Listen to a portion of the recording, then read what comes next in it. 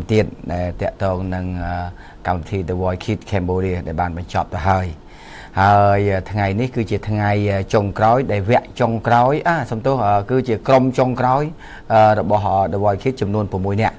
បាទអញ្ចឹងនីសាក្រុមរបស់សកលនីសាត្រូវជួបខ្ញុំនៅថ្ងៃនេះដើម្បីបកស្រាយរឿងរ៉ាវមួយចំនួនដែលកើតឡើងនៅក្នុងពេលដែលយើងកំពុងតែប្រកួតប្រជែងនៅកម្មវិធី The Voice Kids បាទអញ្ចឹងជួបជាមួយនឹងក្រុមរបស់សកលនីសាតែម្ដងបាទជំរាបសួរនីសាបាទបាទសួរលោកអ៊ំបាទអរុនសួស្ដីក្មួយក្មួយបាទហើយ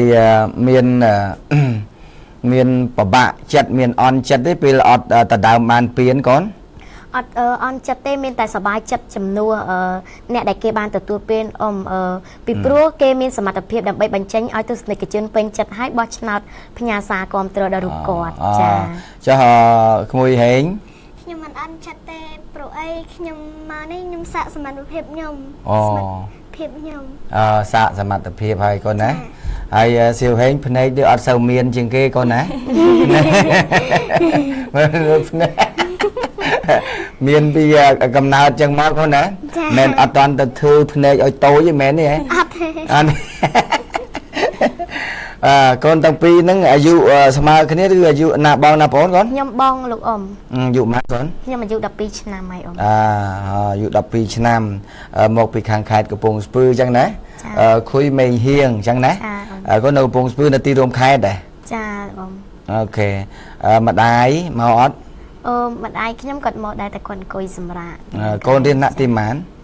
ខ្ញុំរៀនថ្នាក់ទី6អមតែដល់ពេលចូលកងវិញថ្នាក់ទី7អឺហើយកូនថាមានម្ដាយឪពុកទាំងពីរដែរអត់ទេខ្ញុំពុករបស់ខ្ញុំគាត់បានស្លាប់ហើយតែម្ដាយរបស់ខ្ញុំគាត់អូកូនកូនកព្រាឪពុកណាចាអ៊ំអឺម៉ាក់រស់ស៊ីអីចាកូនរងៃអឺម្ដាយខ្ញុំគាត់លក់ចេកចៀននំសោមចាអូអញ្ចឹងហ៎ហើយលក់ហើយដល់ពេលចុះបើកូនចេញពីសាលាមកហើយទៅជួយលក់ម៉ាក់ដែរ អឺអត់ទេពេលខ្លះក៏ខ្ញុំជួយលោកប៉ុន្តែពេលខ្លះមកពីសាលាវិញជួយបកចេកធ្វើនេះធ្វើនោះបន្តិចបន្តិចចានៅនៅទីរួមខេត្តមកអីកូនណាចាលោកអ៊ំព្រោះអ្នកខេត្តកំពង់ស្ពឺគេបានផ្ញើសារមកអ៊ំថាគ្រប់ត្រូលក្មួយព្រោះកំពង់ស្ពឺមាន2អឺគ្រប់ត្រូលឲ្យបានទទួលពៀនប៉ុន្តែអត់បានទទួលពៀនទេតែប៉ុន្តែគាត់នៅបានជាប់នៅក្នុងវគ្គដាច់ព្រាត់នឹងហើយទោះអត់ទទួលពៀនក៏សុបាយចិត្តដែរសុបាយចិត្តដែរណាអឺសុបាយចិត្ត ហើយចុះកូនហេងសៀវហេងអឺកូនអាយុប្រហែលហើយខ្ញុំអាយុ8ចូល9ហើយ3ឆ្នាំចូល9រៀនថ្នាក់ទីម៉ានកូនរៀនថ្នាក់ទី3រៀនថ្នាក់ទី3កូននៅណាខ្ញុំនៅភ្នំពេញអើនៅភ្នំពេញម្ដាយពុកធ្វើការអីកូនម៉ាក់ខ្ញុំធ្វើម៉ាក់ខ្ញុំជាមេផ្ទះប៉ាខ្ញុំធ្វើមន្ត្រីរាជការធម្មតាអូធ្វើមន្ត្រីរាជការកូនណាហើយកូន ចង់ចង់ចង់ធ្វើជាអ្នកចម្រៀងឬក៏កូនគាត់ថានៅពេលវ័យប៉ុណ្ណេះច្រៀងចង់ចង់បង្ហាញសមត្ថភាពសិនកូនខ្ញុំនៅក្មេងខ្ញុំអត់តន់គិតថាធ្វើអីមិនតែខ្ញុំមកប្រឡងចម្រៀងនេះខ្ញុំចង់សាកសមត្ថភាពខ្ញុំហើយខ្ញុំស្រឡាញ់សិល្បៈដែរអូស្រឡាញ់សិល្បៈអូខេកូននេះសាតើ ក្នុងចំណោមកូនក្រុមរបស់នេសាទាំងអស់ដែលនេសាបានជ្រើសរើសបន្តបន្តបន្តបន្តកន្លងមកតើនេសាប្រើប្រាស់នៅមនោសញ្ចេតនាដោយសារតែ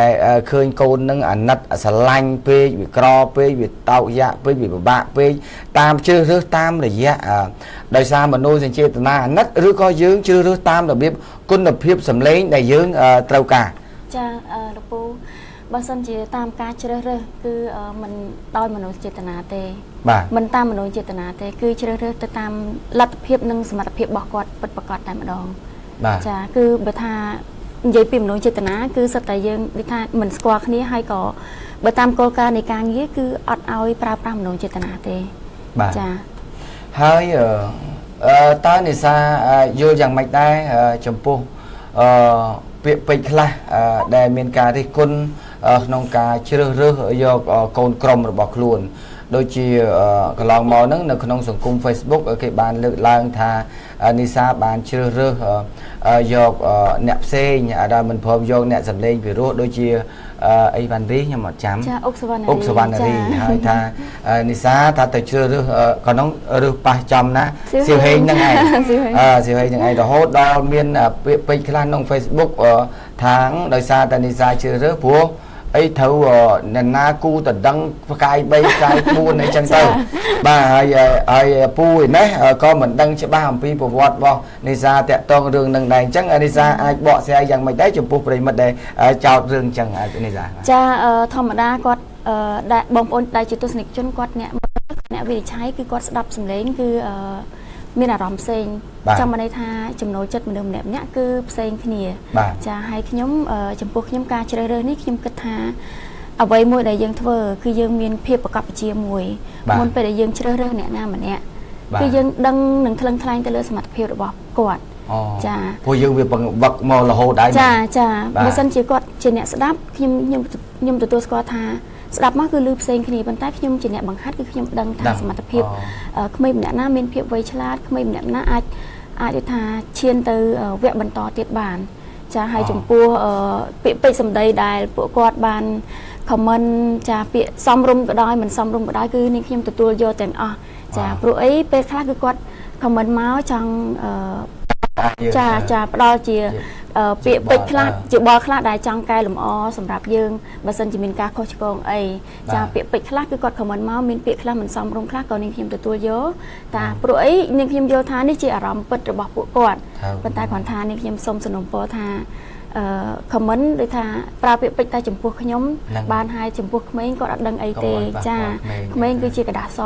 ប្រះសមកមកសន្លឹកបើសិនជាយើងលាបពណ៌គាត់ទៅពណ៌អីគឺគាត់ទៅជាពណ៌ហ្នឹងហើយប្រឡាក់ហើយអញ្ចឹងអញ្ចឹងគេថាខ្ញុំអត់ចង់ឲ្យបងប្អូនទស្សនិកជនទាំងអស់ប្រើពាក្យពេចន៍មិនសមរម្យទៅលើក្មេងព្រោះអីក្មេងយល់ថាអឺ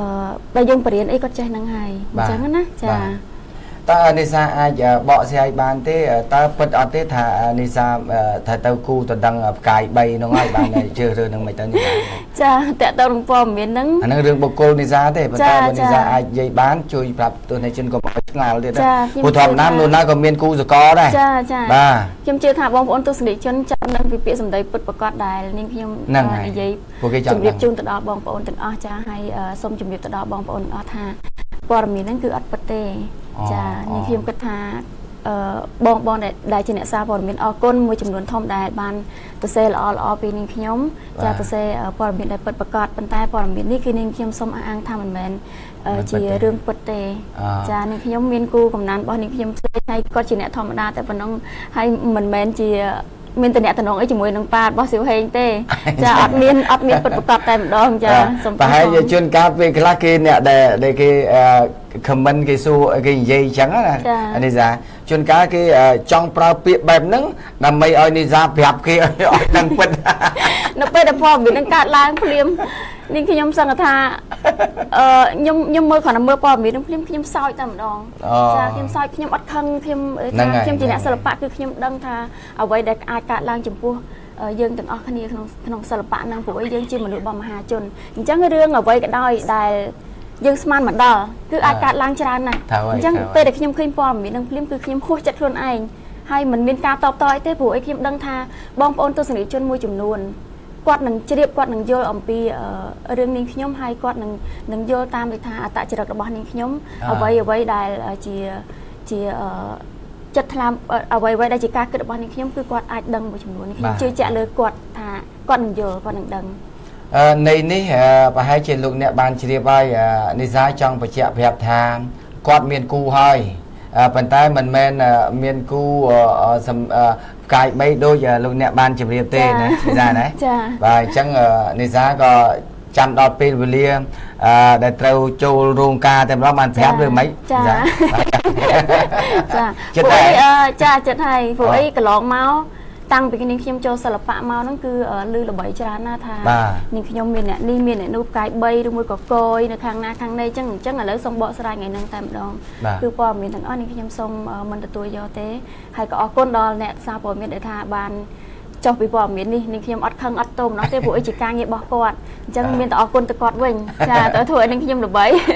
ចាហើយអឺអញ្ចឹងព័ត៌មានទាំងអស់នាងខ្ញុំសុទ្ធតែអឺបដិសេធថាមិនមែនជាការពិតទាំងអស់ គឺនាងខ្ញុំរស់នៅដែលជីវភាពធម្មតាចាដៃគូរបស់នាងខ្ញុំក៏គាត់ជីវភាពធម្មតាមិនមែនជាអ្នក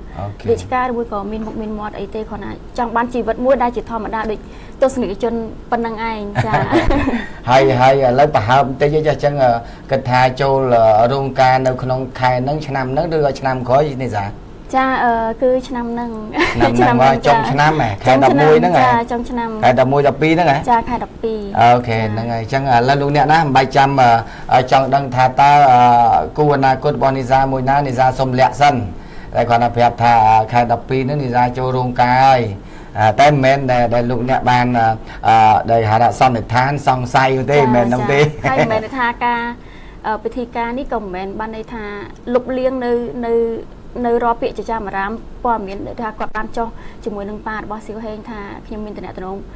ជាគូតដឹងរបស់ប៉ាស៊ីវហេងហ្នឹងមិនមែនចង់រំលៀងហ្នឹងទេព្រោះអីកម្រងការនេះគឺខ្ញុំរៀបចំទុកមួយយូរហើយអញ្ចឹងព្រោះចង់ចង់និយាយថាកម្មវិធីការមួយមួយគឺយើងមិនមែនចេះតែរៀបចំមួយខែពីរខែមុនបានទេចាគឺគិតមុនមួយឆ្នាំពីរឆ្នាំអីហ្នឹងបានយើងសម្រេចបានចាបាទតាមធម្មតានេះសាគូសកលមនុស្សម្នាក់ម្នាក់គេថាធម្មជាតិដែលបង្កើតមនុស្សឲ្យយើងកើតមកហើយតែងតែមានគូ ប៉ុន្តែគ្រាន់តែគូកម្មគូព្រាត់គូប្រេងគូអីហ្នឹងអាហ្នឹងមិនមិនដឹងថាយ៉ាងម៉េចទេអាហ្នឹងវាអាស្រ័យទៅដោយនិស័យកម្មចុះណាចាបាទហើយកូនកូនទាំងពីរនាក់គ្រាន់តែស្ដាប់សិនទៅណាខ្ញុំអាចចង់ដឹងដឹងតិចតិចបានហើយប៉ុន្តែសំខាន់កូនដែលត្រូវដឹងគឺថាចំណេះដឹងរបស់កូនកូនដែលមាននៅពេលនេះកូនឥឡូវប្រឡងចម្រៀងប៉ុន្តែកូនកូនមានថ្នាក់ទីម៉ានមើលមិញ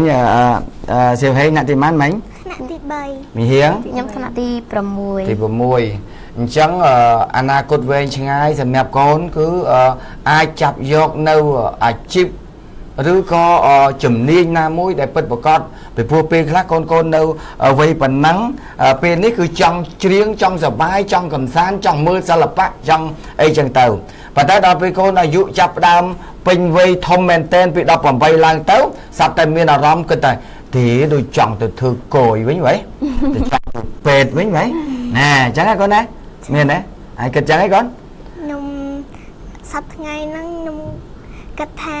ឲ្យតែអ្វីដែលខ្ញុំអាចធ្វើបានខ្ញុំជំរុញខាងហ្នឹងអូអញ្ចឹងបានន័យថាកូនកូនហេងថាបើសិនជាមុខជំនាញណាដែលក្មួយកូនគេថាចង់ជំរុញអានឹងឲ្យខ្លាំងហ្មងមែនទេកូនចាអាចំហៀង អឺខ្ញុំក៏គិតដូចសៀវហេងមួយយ៉ាងដែរអឺចឹងហើយខ្ញុំចង់រៀនឲ្យបានបកកែដល់ពេលចឹងហើយខ្ញុំធំឡើងខ្ញុំអាចធ្វើការអីក៏បានដែរចាតែឥឡូវកូនមានមានសាលាណាគេឲ្យអាហាររូបករណ៍ហ្នឹងកូនទាំងពីរអឺខ្ញុំមានហើយប៉ុន្តែមិនដឹងថាសាលាអីសាលាហ្នឹងសាលាសាលាវេសាឡាញវេសាឡាញចាអូវេសាឡាញខ្ញុំអត់សូវស្គាល់ច្បាស់ដែរអ៊ំ អញ្ចឹងតែគាត់ដឹងថាស្លាញចុងយ៉ាងចឹងស្លាញមានវេស្លាញមាន deadline មីស្លាញណាចុះកូនឯងខ្ញុំមិនទាន់មានហងតាន់មានទេចាកូនចង់បានអត់ចុះអត់ដឹងដែរចង់បានអាហារអាហារូបករណ៍ដែលគេរៀនឲ្យរៀន free ហ៎កូន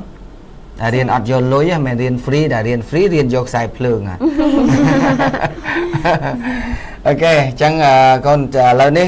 មុននឹងចូលដល់សំណួរផ្សេងផ្សេងទៀតជាមួយនីសានិងអ៊ំឥឡូវនេះអ៊ំចង់បានស្ដាប់សំឡេងគេហៅថាសំឡេងអត់ភ្លេងពីមុនកូនកូនទាំងអវឹកហាត់ជាមួយខូចមានភ្លេងមែនទេមានភ្លេងឥឡូវនេះអ៊ំអត់ភ្លេងទេ ទៅទៀតតែអ៊ំធ្វើភ្លេងមាត់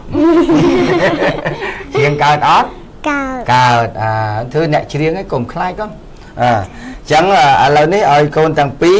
ច្រៀងតតាំងគ្នាតើក្មួយទាំងពីរហ្នឹងត្រូវយកបទអីអឺទៅយ៉ាងណាក៏នៅតែមិនស្អប់បងអូនៅមិនស្អប់បងនេះបទចម្រៀងហ៎អាអញ្ចឹងមើលមីហៀងកាលពីចាប់ផ្ដើមចូលប្រឡង The Voice ដំបូង អឺមីហៀង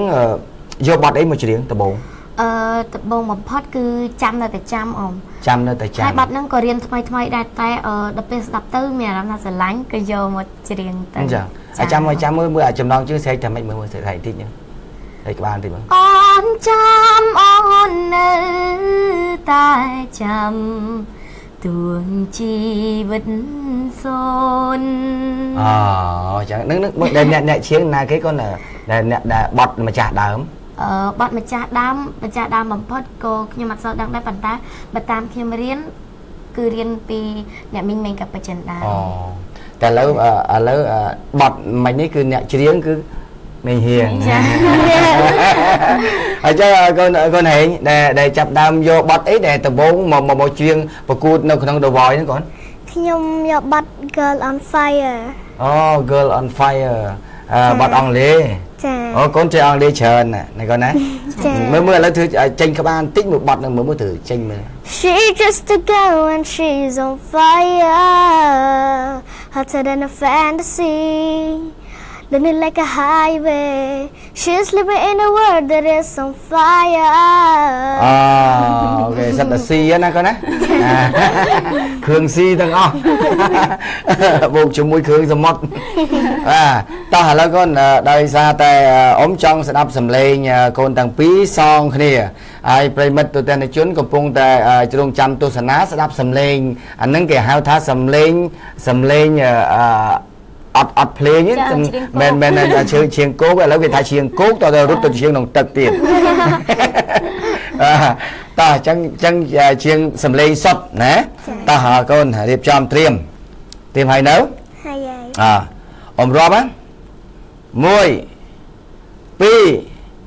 3មិនដឹងមិនយកតតែផ្សងសំមិញស្រង់ញញឹម ថ្ងៃនេះគ្នឹងក្រំអស់សងខំទឹកនេះហរលំសានខ្លោចផ្សាអូនចាប់ដៃបងចាំខ្វាត់បងទុកក្បាយកាយទ្រង់ប្រទលេគ្មានពេងវាចាបងក្រលីងដៃជីវ៉ាហើយបែកក្រោយយេត្រាចេញទៅទាំងភ្នែកអូនរមាលស្រង់ទ្រូងដឹងហក់ផ្សាក្តៅ ស្រង់ក្រោយក្នុងពេលបងចេញទៅក្រោមកំណៅដិនរលពេញដួងចិត្តទឹកភ្នែកអូនស្រត់ដល់តើលើបេះដូងគ្រាដំបងក្នុងឆាំងជីវិត បងមិនក្រែងរអាញ់ចិត្តទីបំផុនយើងត្រូវបែកគ្នាអូនមិនតា ចាប់តោះទៀតអូនមិនខឹងមិនសប្បងทำទាំងអរគុណទៅតាន់ក្រុមគ្រាបានតិចខ្លួននៅក្បាលអូនមួយវេលាទោះបីជាវេលាមួយដ៏ខ្លីអូនមិនខឹងមិនសប្បងអូននឹងថាធួនស្នាមស្នេហ៍ថ្លាថ្លៃអនុស្សាវរីយ៍កំដរអូនលោកស្អីមានតម្លៃសម្រាប់ជីវិតអូនរហូ គុណហ្នឹងហើយអញ្ចឹងអឺចាំរហូតណា ហើយត្រូវខំប្រឹងឲ្យឆ្លាតរហូតឥឡូវអឺគេបង្ហាញឲ្យឃើញថាប្រិមិត្តកំពុងឲ្យទស្សនានេះបានន័យថាកូនក្លាហាន កូនឆ្លាតកូនហ៊ានណាកុំគិតអំពីអឺគិតថាគ្រួសារក្រីក្រគ្រួសារមានអឺបើសិនជាយើងមិនប្រឹងខ្លួនឯងគឺអឺ គ្មានមានអីទេចា៎ព្រោះរបស់ដែលកើតឡើងអឺពីការប្រឹងខ្លួនឯងក៏ណាចា៎អឺប្រឹងថែមទៀតជីវិតកុំគិតអឺថាខ្លួនក្ររួចហើយបាត់បង់ការតស៊ូអឺចង់សួរនិសានិសាយើងអឺអឺបើគិតទៅអឺអឺការបង្រៀនអឺបែបបត់ឲ្យក្មួយក្មួយច្រៀងកន្លងមកចា៎អឺនិសាពិបាកទេពេលដែលបង្រៀនក្មេងក្មេងអញ្ចឹងអឺពួកគាត់បើសិនជាការបង្រៀនគឺមិនសូវពិបាកប្រហែលទេបាទ ព្រោះអីពួកគាត់មានដងពីធម្មជាតិស្រាប់អញ្ចឹងគាត់យល់ពីកែពីតិចនិចសម្លេងអូចាមានវាថាយើងយើងចង់បរៀន style អ្វីមួយអញ្ចឹងយើងអាចច្រៀងឲ្យគាត់ស្ដាប់ហើយគាត់អាចធ្វើតាមយើងប៉ុន្តែពួកគាត់ងាយយល់មានការមានភាពឆ្លាតវៃផ្សេងផ្សេងគ្នាចាអត់មានអត់អត់មានការពិបាកទេចាពួកគាត់ឆាប់ចាំហ្នឹងណាចាឆាប់ចាំដូចថាប៉ារ៉ូលឲ្យទៅគាត់អាចអត្ថបទចម្រៀងឲ្យទៅគាត់អញ្ចឹងបទចម្រៀងអញ្ចឹងគឺថាឲ្យទៅ ធម្មតាយើងគិតថាក្មេងធ្វើអត់បានប៉ុន្តែគាត់ធ្វើបានក្នុងរយៈពេលដ៏ខ្លីគឺថា3ទៅ4ថ្ងៃគាត់អាចចាំប៉ារ៉ូលហ្នឹងហើយ still ច្រៀងឯងបើសិនជាយើងចង់ប្រហាត់គាត់យើងចង់ថាហោឥឡូវយើងត្រូវប្រើសលេងខ្យល់បន្តិចឬមួយក៏បត់បត់សម័យបត់បុរាណយើងត្រូវប្រើសំឡេងវិច័យទេសផ្សេងគ្នាអញ្ចឹងប្រាប់គាត់ទៅគាត់ងាយយល់បាទចាហើយអឺដូចជាអឺពេលដែលអឺនេសាជ្រើសរើសយកអឺ អឺក្មួយស្រីហេងអឺមិនគេរិះគន់នេសារឿងចា៎អុកអឺសវណ្ណរីចាអឺប៉ុន្តែពេលនោះអឺខ្ញុំដឹងខ្ញុំដឹងថាអឺការសម្រេចរបស់នេសាពិតជាពិបាកចាដោយសារពិបាកគេតម្រូវឲ្យយើងយកអឺគណៈកម្មការដែលដែលដែលខូចសម្រាប់យកតែមួយឯងមែនទេចាចាបាទហើយអឺអ្នកផ្សេងទៀតគឺត្រូវបានជ្រើសរើសដោយអឺប្រិមិត្តចាបាទអញ្ចឹងអឺពេលនោះអឺអឺគិតថាអឺសំឡេងរបស់អឺអឺរបស់អឺអុកសវណ្ណរីអឺអឺ ល្អដែរអឺប៉ុន្តែវាគ្រាន់តែថានៅចាញ់របៀបអាម៉េចជាមួយ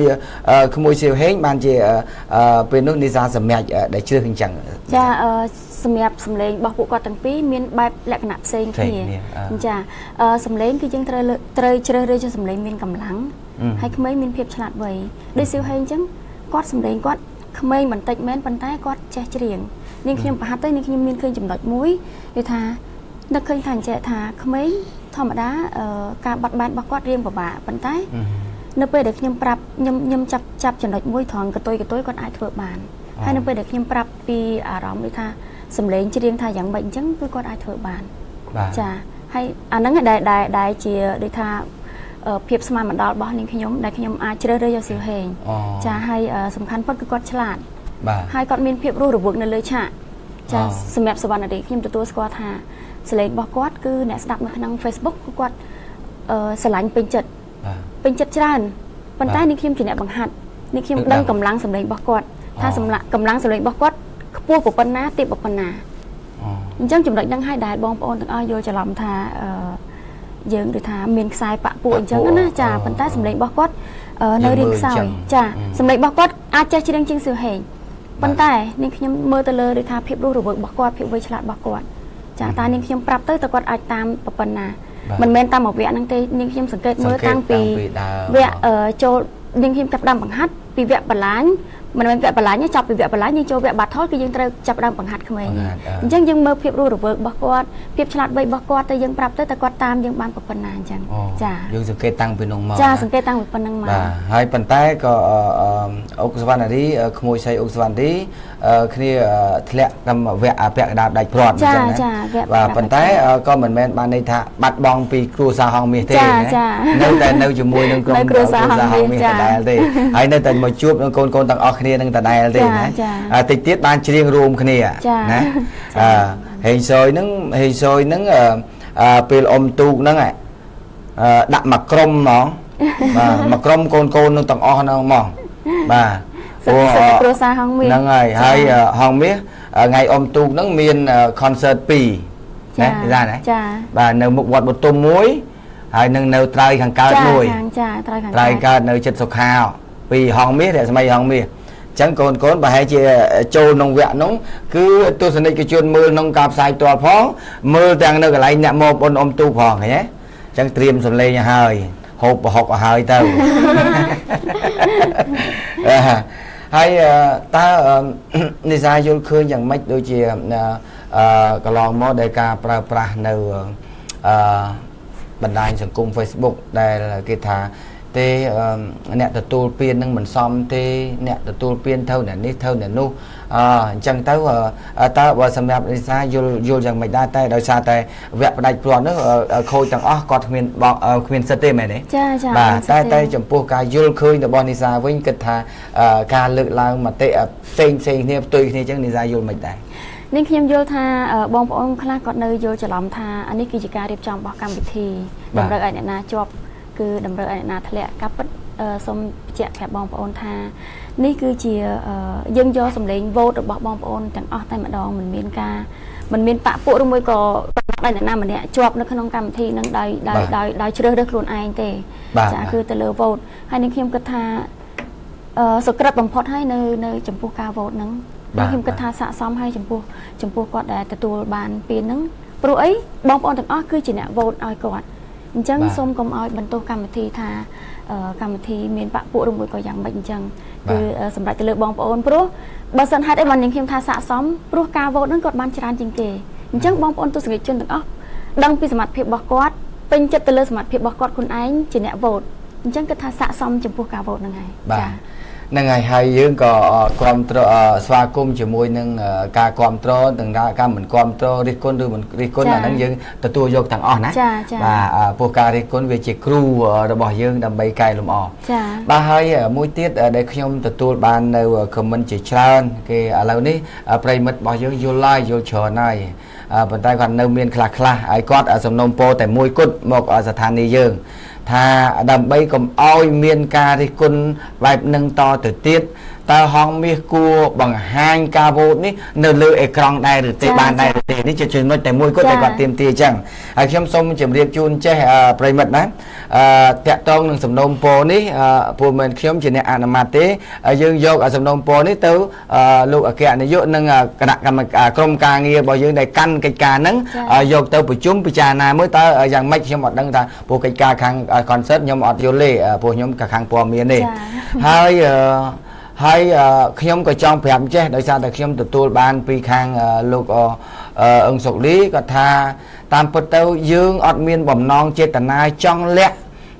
ជាមួយនឹងសម្លេងវោតនោះទេប៉ុន្តែដោយសារតែយើងជាប់ជាប់អាអាកុងត្រារបស់គេដែលពីម្ចាស់ដើមរបស់គេនោះចាពួកគេនៅនោះគេអត់បង្ហាញអានោះហើយគេដល់ពេលដែលយើងទិញ license របស់គេគេថាសុំឲ្យធ្វើដូចគេអញ្ចឹងចា បាទអញ្ចឹងហើយបានជាអត់បង្ហាញដោយសារតែយើងជាប់អា license របស់គេគេពីដើមមកអញ្ចឹង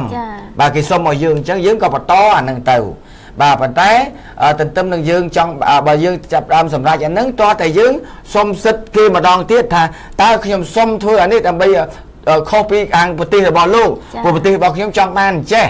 តើបានដែរឬទេអញ្ចឹងឥឡូវនេះយើងកំពុងតែស្នើសុំទៅម្ចាស់ license វិញដើម្បីសុំថាអញ្ចឹងបានដែរឬទេចាចាហ្នឹងហើយ ពួកប្រិមិត្តបានសួរមកយើងតែចង់បានអញ្ចឹងដើម្បីកុំឲ្យគេថាចាគាត់គាត់ដូចថាចង់បានពិតប្រកបចង់បង្ហាញអឺចំនួនវោតហ្នឹងហើយចំនួនវោតឃើញលើអេក្រង់ម្ដងចាហ្នឹងហើយនេះសាយល់មិនដែរចាបើគេសាចំអញ្ចឹងនាងខ្ញុំគាត់ថានេះជាផលលំបាករបស់ក្រុមការងារមួយចំនួននៅក្នុងនៅក្នុងកម្មវិធី The Voice Kids ហ្នឹង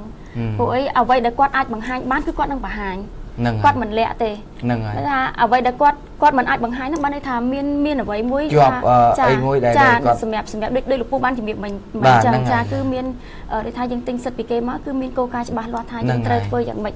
ពួកអីយើងទិញសិទ្ធមកមិនមែនចេះតែធ្វើតាមចិត្តយើងទេបាទអ្វីអ្វីគឺមានការរៀបចំធ្វើខុសពីដងវិញធ្វើខុសពីលក្ខន្តិកៈគេគឺមិនមិនអាចបានតែម្ដងចាបាទ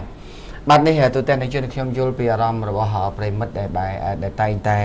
ចង់បានចំណុចនៃការចាប់ផ្ដើមឲ្យដូចខ្ញុំក៏អញ្ចឹងដែរបាទខ្ញុំក៏អញ្ចឹងដែរចង់បង្ហាញមកចង់ពលាតមកចាខ្ញុំក៏ចង់អញ្ចឹងដែរខ្ញុំចង់ឲ្យបង្ហាញដែរតែដោយសារតែមិនលក្ខខណ្ឌមកគេមកអញ្ចឹងឥឡូវចាំមើលការចរចារបស់យើងជាមួយគេសិនអញ្ចឹងបាទឥឡូវងាកមកកូនកូនទាំងពីរវិញឥឡូវកូនទាំងពីរ ដឹងហើយថាយើងបាននៅជាមួយគ្នាហើយប៉ុន្តែមិនមែនបានន័យថានៅជាមួយគ្នាហងមាសមកនៅមួយហងមាសទៅណាមិនបានទេសេរីភាពរបស់កូនមានគ្រប់យ៉ាងព្រោះវ័យរបស់កូនប៉ុណ្នេះគឺបានន័យថាអឺគេថាអនិច្ចជនយ៉ាងកូនគាត់ថាជាគ្រួសារហងមាសកូនទៅរៀនទៅអីគឺជាការប្រឹងប្រែងរបស់កូនណា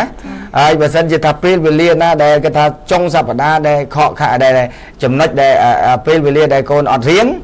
ហើយកម្មវិធីហងមាសគេថាអឺឥឡូវកូនកូននៅក្នុងក្រុម The Voice Kids ឥឡូវមកឡើងនៅកម្មវិធីមកនេះពេលនេះបានអត់ណាស្រួលអញ្ចឹងណាបើថាកូនកូនណារវល់មកណាមិនរវល់អណារវល់បាច់មកបាច់មកទេហ្នឹងហើយមិនរវល់មកបើអ្នកអត់រវល់បានមកបានលុយទៅណាអ្នកអ្នករវល់ រលុយខាងក្រៅនោះគាត់ថាចំណុចហ្នឹងខ្ញុំបានបញ្យល់ប្រាប់គាត់ដែរនៅពេលដែរបង្វឹកបង្ហាត់គាត់ហ្នឹងមិនមែនយើងថាបង្ហាត់តែការច្រៀងទេអញ្ចឹងយើងបង្ហាត់ពីសិលធម៌ធម្មតាការរស់នៅធម្មតាដែរហើយនឹងនៅពេលដែលយើងខ្លាយជាអ្នកចម្រៀងមួយរូបតើទទួលកម្មវិធីបែបណាបែបណាអញ្ចឹងណាចាពួកអីសំខាន់ផុតគឺបងបានប្រាប់ទៅបងប្អូនទាំងអស់គ្នាថាយើងឆ្លាញ់ចម្រៀងប៉ុណ្ណាក៏ដោយតែយើងខំប្រឹងរៀនឲ្យបាន បកកែទាំងអស់គ្នាសិនយើងកុំចោលការសិក្សានៅពេលដែលទទួលកម្មវិធីមួយមួយយើងថ្លឹងថ្លែងជាមួយនឹងការងាររបស់យើងតែយើង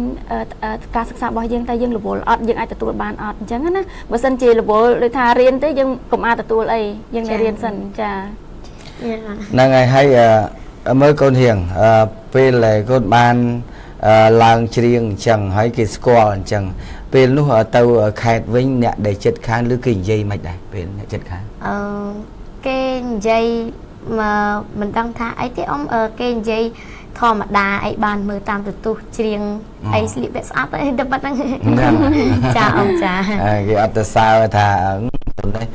នៅកំពង់ស្ពឺច្រៀងបានបរោះបានអីឥឡូវចឹងអត់ទេណាហើយទៅថាឲ្យមកពេញទៅមិនខំផាត់មុខផាត់អីឲ្យវាសគេអីណាចាអ៊ំចាចាកូនហេង ពេលកូនបានច្រៀងអញ្ចឹងទៅយកអញ្ចឹងមកគេស្គាល់អញ្ចឹងទៅទៅផ្ទះចិត្តខាងអីគេមានទួកូនថាម៉េចដែរគេសួរខ្ញុំថាអឺចាំអឺគេសួរខ្ញុំស្លៀកពាក់ស្អាតហើយឡើងខ្ជូតហើយគេថាម្នាក់ម្នាក់គេសរសើរហើយជឿព្រោះអីខ្លះខ្លះចឹងអូគេអត់ទៅសើភ្នែកទៀតទេចា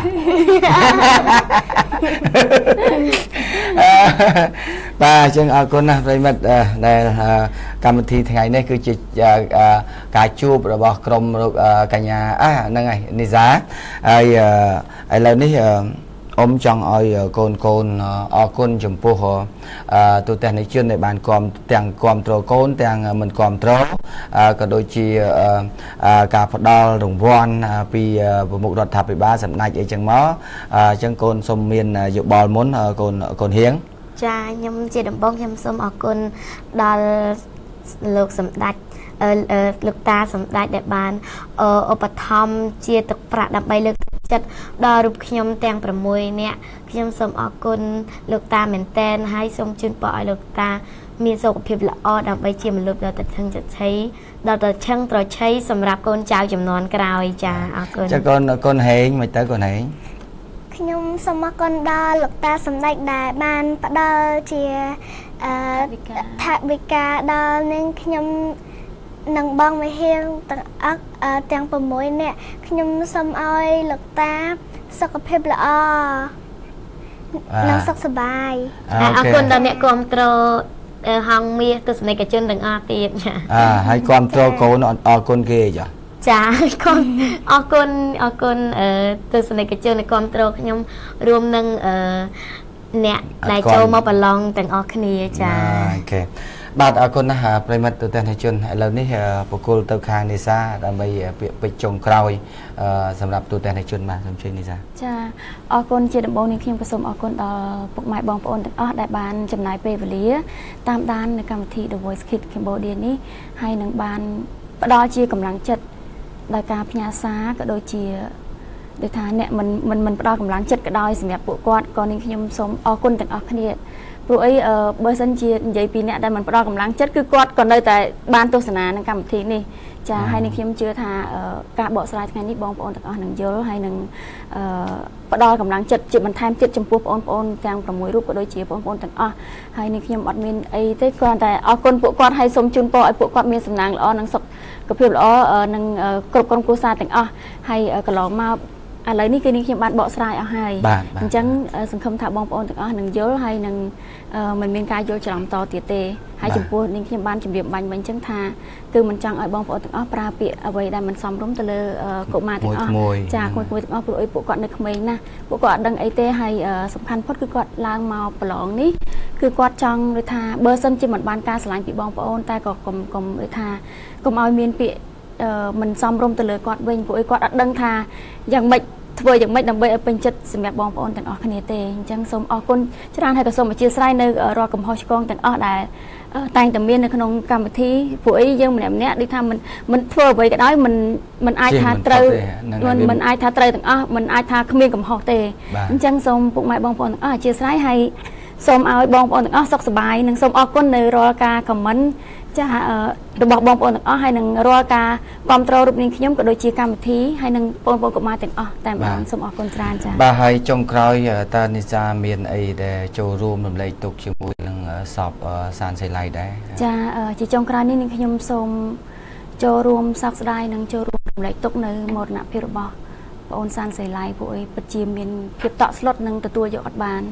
ចាព្រោះអីនឹងខ្ញុំធ្វើការជាមួយគាត់សឹងតែរាល់សប្តាហ៍នៅក្នុងការថតជាខ្សែភាពយន្តចាហើយគាត់ជាមនុស្សម្នាក់ដែល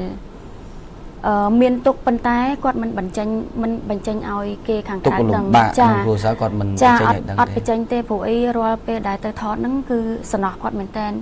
គាត់ព្យាយាមធ្វើឲ្យក្រុមការងារទាំងអស់សប្បាយជាមួយនឹងគាត់ទោះជាអឺក្នុងករណីការថតហ្នឹងមានការស្ដីបន្ទោសឲ្យគាត់នៅពេលដែលធ្វើខុសពីការងារអីបន្តិចបន្តួច